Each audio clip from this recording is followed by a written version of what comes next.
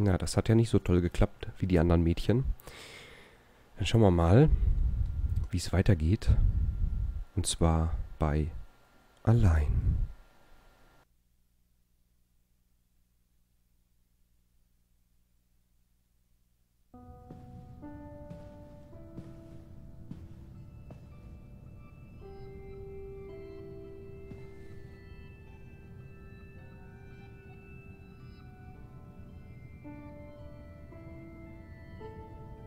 Ich weiß nicht, wie ich dir sagen soll, Jodie, also sag ich's dir einfach. Mama und ich wurden versetzt und müssen weg von der Basis. Wir würden dich gerne mitnehmen, aber wir glauben... Ähm, alle hier glauben, dass es für dich besser ist, wenn du hier bleibst bei Professor Dawkins.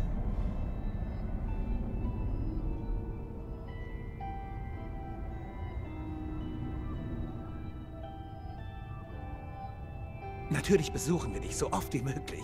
Und wenn es dir besser geht, dann kannst du auch wieder nach Hause kommen. Okay?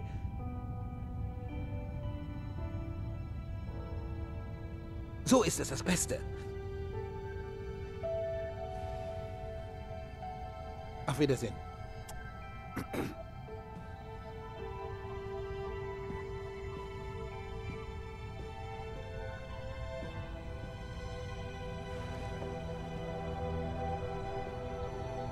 Du schaffst das, mein Schatz. Ich weiß, es ist schwierig. Aber bestimmt wird alles gut.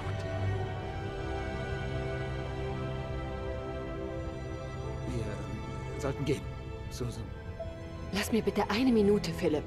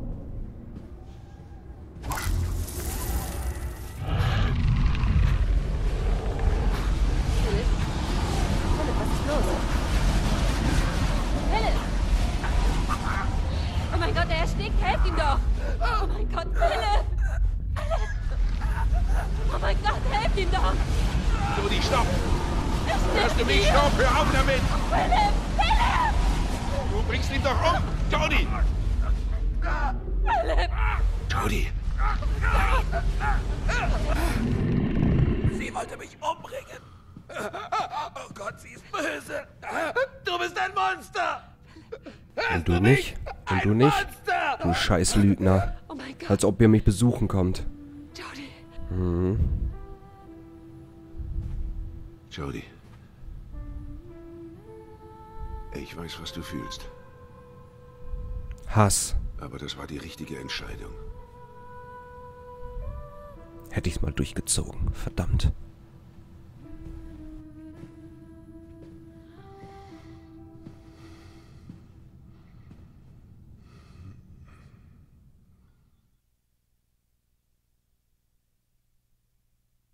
Allein.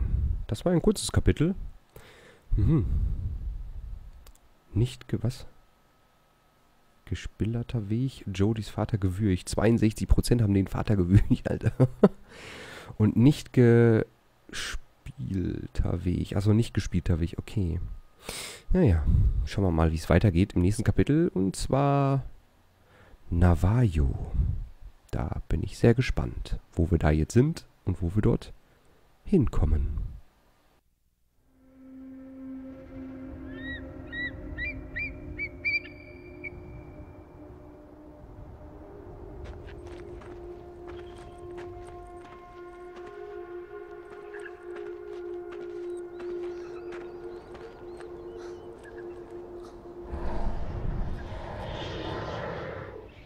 Ich bin total erledigt und durstig. Und ich habe keinen Schimmer von diesem verfluchten Ort, also sei mal nett und gönn mir eine Pause, okay?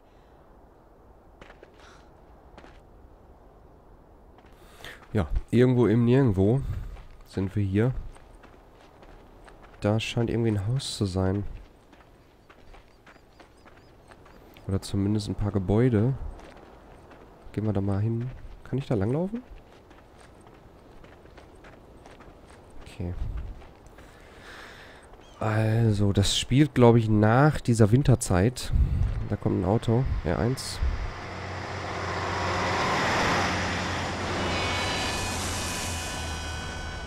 Ja, warum soll auch einer anhalten? Natürlich. Warum auch? Ich finde die Szene sehr, sehr geil, muss ich ganz ehrlich gestehen.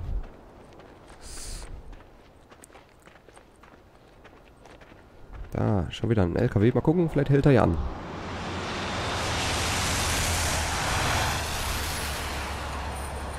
Ja, dann nicht.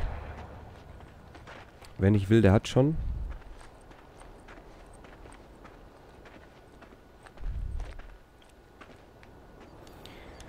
Äh, Erstmal Pause machen. Es ist so Es ist heiß. alles wieder gut. Ich bin mitten im Nirgendwo. Ich sterbe vor Durst. Und alles ist für den Arsch. Aber alles wird gut. Alles wird bestens.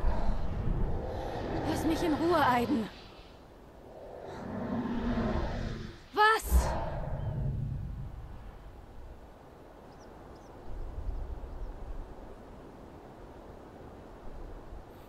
Sollte ab und zu mal auf ihn hören und nicht nur anmeckern. Mhm. Eine Ranch. Ist okay, Aiden. Werd jetzt bloß nicht nervös. Geil, wie das hier aussieht. Alter Schwede. Hallo? Ist hier jemand? Hallo? Ich bin alleine.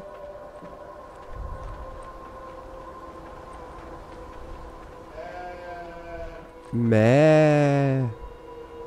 Huch. Oh, wie süß. Die kleinen Schäfchen. Voll geil.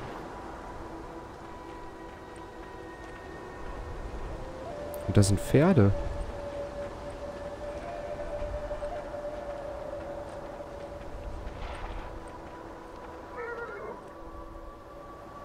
Oh, Pferdchen. Hottü, Pferdchen. Yay. Voll entspannt gerade die Szene. Nach der, nach der ganzen Action in den, letzten, in den letzten Folgen und so. Tut das mal richtig gut, muss ich sagen. Gucken wir mal. Oh, wie geil das hier aussieht. Alter. Da ist ein Haus. Ich gehe noch nicht ans Haus. Ich möchte gerne noch ein bisschen gucken.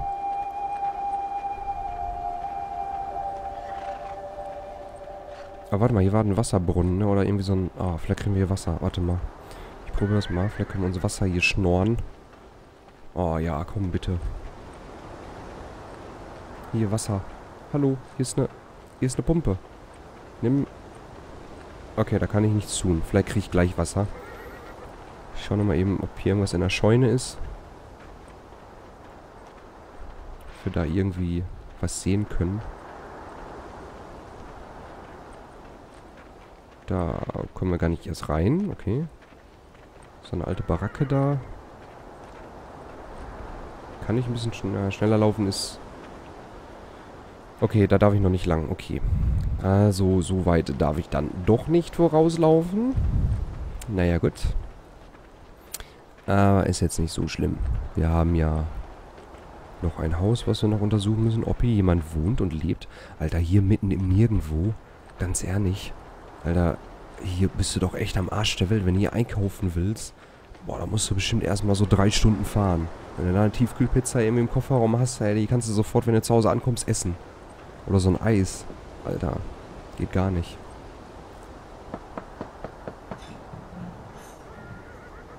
Da ist jemand zu Hause, glaube ich. Hey, tut mir leid, wenn ich so reinplatze. Ich bin auf der Suche nach einem Platz für die Nacht und ich wollte Sie bitten. Du kannst hier nicht bleiben. Sorry. Bitte. Es wird wirklich kalt heute Nacht. Und ich, ich weiß nicht, wo ich sonst hin soll. Und, und ich verspreche, ich bin weg bis zum Morgen. Ich hab doch gesagt, das geht nicht. Du solltest abhauen. Ja, ja. Ja, es war so. Akuri nao. Tobone, Zarahe. Dinne. Ote ye. Sotnost ad. Bendako. Doth kath. Ah, do, Bendigo no, doch, doch. Ist okay. Du kannst hier schlafen. Komm rein. Okay. Ist anscheinend ein Indianerstamm. Hörte sich zumindest danach an. Wie heißt du denn? Jody. Ich bin Paul. Das sind meine Söhne, Corey und Jay. Meine Mutter, Shimasani. Wunder dich nicht, wenn sie dir nicht antwortet. Sie spricht seit Jahren nicht. Okay. Der Tisch ist gerade gedeckt. Willst du mit uns essen? Ja. Ja, danke.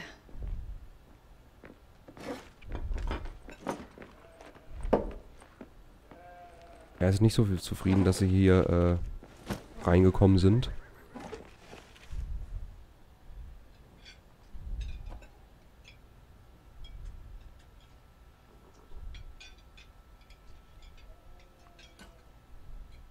Bin mal jetzt nicht so gierig, ne? Ich bleib mal dabei.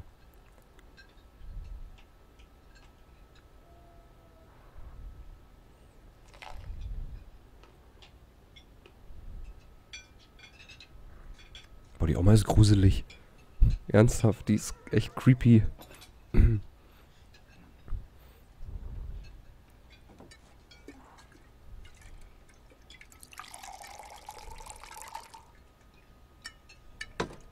die mich angucken, ne? Alle.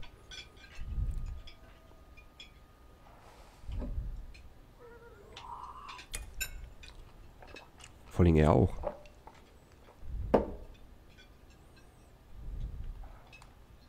Äh. Ganz schön still beim Essen bei denen. Also ich unterhalte mich gerne beim Essen. Anhalter hier draußen. Na, wo geht's hin? Ich ziehe einfach umher von Tag zu Tag. Ich schätze, wenn ich lang genug reise, dann finde ich vielleicht mein Ziel. Verstehe. Das ist die erste Ranch in der Gegend seit Meilen. Es gab mal mehr von uns. Die meisten sind in die Stadt. Das Leben ist hart hier draußen.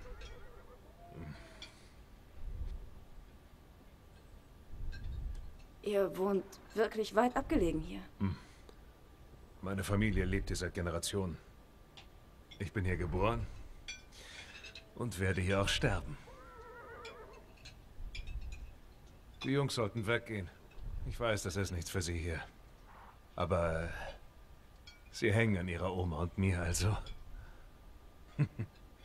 Kann man verstehen.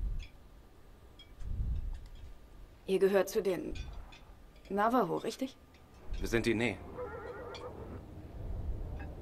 Das heißt die Menschen auf Navajo. So nennen wir uns selbst. Oh, der ist ja süß.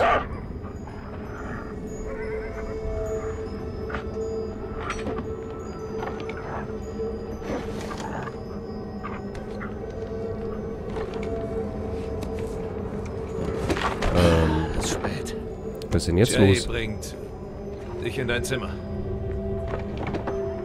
Gute Nacht.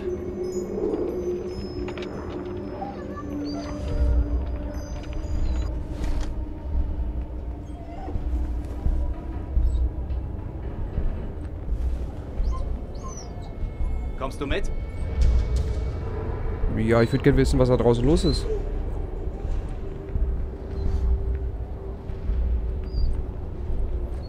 Das hört sich an wie so ein kleiner Sturm, aber...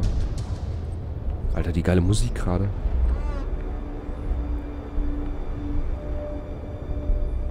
Du bleibst in deinem Zimmer. Was immer du auch hörst. Was ich höre? Wie meinst du das? Wenn du am Leben hängst, verschließ die Tür und komm nicht raus bis zum Morgen. Okay. Was? Hallo? Mach die, mach die, mach die Tür zu. Was ist denn draußen los dann? Wölfe? Verschiedene Tiere? Was könnte es sein? Was kann ich machen, mich außer auf dem Stuhl zu setzen? Gibt es noch irgendwie... Okay, das ist die Eingangstür. Ich äh, möchte noch nicht dahin. Ich bin neugierig, muss ich sagen. Ich würde es gerne wissen. Uh, hallo.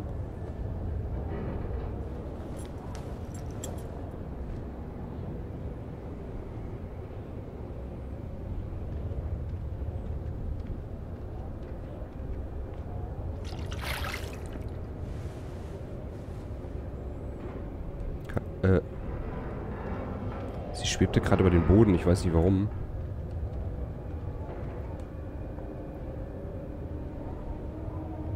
Was ist das denn? Asche. Asche?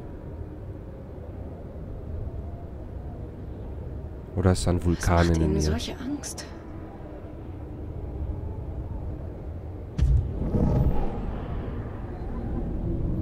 Ich bin mal neugierig, ne? Aber ich lass Mal da.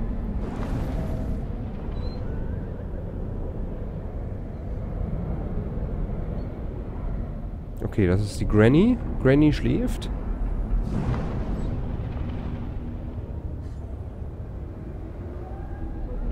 Okay, der Hund hat Angst. Sogar der Hund hat Angst. Da muss ja irgendwas...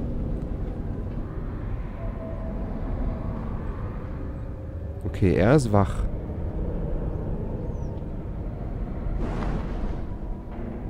Wer ist... Okay, er ist am Beten. Er ist auch wach. Wo ist der andere?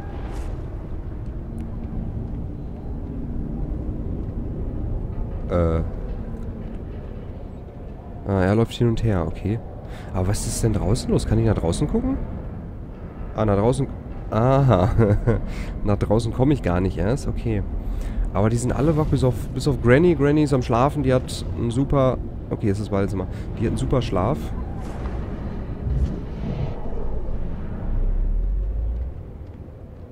Die hat einen super Schlaf. Aber was bereitet denen so Angst? Ich kann ja sagen, ich muss auf Toilette.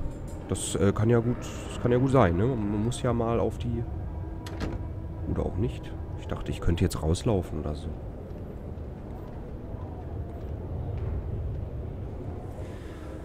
Hm.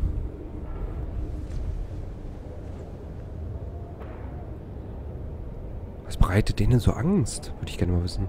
Weil nur der Sturm kann es ja nicht sein. Ich weiß. Ich weiß, es ist wirklich seltsam hier. Keine Sorge. Morgen Abend sind wir längst weg von hier. Gute Nacht, Ja. Aiden. Gute Nacht, Joey.